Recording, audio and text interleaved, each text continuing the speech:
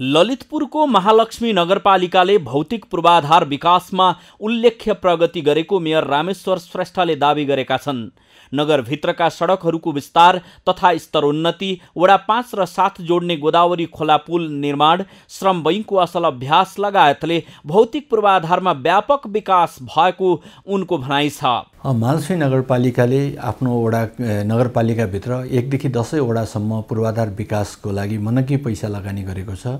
वडा नम्बर दसमा नगरपालिका मार्फत चाहिँ मनमोहन मेमोरियल टावर दुई करोडको ठेक्का भएर सम्पन्न हुने अवस्थामा पुगिसकेको छ भने अर्को पन्ध्र करोडमा मनमोहन मेमोरियल पार्कको ठेक्का लागिसकेको अवस्था छ। त्यस्तै गरी हरेक वडामा एकदेखि दसैँ वडासम्म नगरपालिकाको वडा कार्यालयका भवनहरू निर्माणको लागि नगरपालिकाले दुई करोडभन्दा माथि लगानी गरेर निर्माण कार्यहरू अगाडि बढिरहेको छ। नगरमा डिप बोरिङ रिजर्भयर निर्माण तथा पाइपलाइन विस्तारको प्रक्रिया अगाडि बढाई पिउने पानीको उचित व्यवस्था गर्दै गरेको मेयर श्रेष्ठले बताए।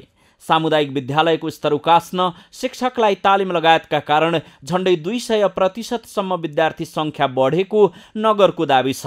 कोभिड नाइन्टिनका कारण ज्यान गुमाएकाका बालबच्चाको पढाइ निरन्तर गर्न पच्चिस हजार रुपियाँ वार्षिक रूपमा दिने गरेको रोजगारी सृजना गर्न पाँचवटा प्राविधिक कलेज र एक आङ्गिक क्याम्पस सञ्चालन सुरु गरेको हरेक वडाका दुईजना विद्यार्थीहरूलाई निशुल्क प्राविधिक शिक्षा प्रदान गरेको उनले बताए। दसवटै वडामा स्वास्थ्य चौकी निर्माण किस्ट अस्पतालको सेवामा नगर मार्फत पन्ध्र प्रतिशत छुटको व्यवस्था घर दैलोमै वृद्ध वृद्धाको उपचार चौबिसै घन्टा बर्थिङ सेन्टर सञ्चालन निशुल्क पाइने औषधिहरूको अभाव नहुने व्यवस्था मिलाउँदा नगरको स्वास्थ्य क्षेत्रमा पनि राम्रो प्रगति भएको नगरसँग तथ्याङ्क छ।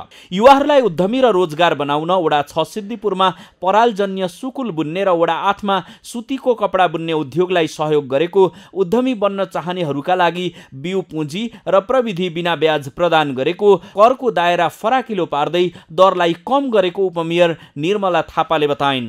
महिलाहरूलाई सिप हस्तान्तरण गरेर सबलीकरण गरेको उनको भनाइ छ। कुरा गर्नु पर्दाखेरि हामीले महिलाहरूलाई आत्मनिर्भर बन्नका लागि आफूले केही सिप आर्जन गरेर त्यसको सिप अनुसारको प्रविधि पनि हस्तान्तरण गरेर उहाँहरूलाई सिप सिकाएर पनि उहाँहरूको उद्यमशील बनाएर उहाँहरूको आर्थिक पाटोलाई सबलीकरण गरेका छौँ भनेदेखि नगरमा सेवा प्रवाहलाई चुस्त दुरुस्त नागरिक मैत्री बनाएको प्रमुख प्रशासकीय अधिकृत पुरुषोत्तम सापकोटाले बताए। र अरू चाहिँ हामीले एकद्वार प्रणालीबाट सेवा प्रवाहलाई हामीले अगाडि बढाएका छौँ।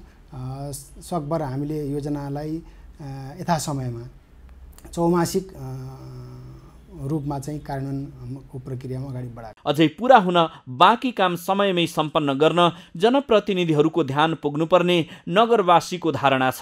सगरमाथा टेलिभिजनको लागि क्यामेरामा प्रकाश कुँवरका साथ ओम प्रकाश पौडेल काठमाडौँ।